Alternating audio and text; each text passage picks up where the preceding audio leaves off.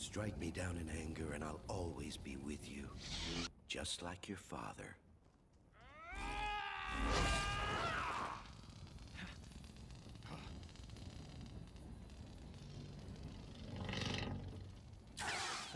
Whoa!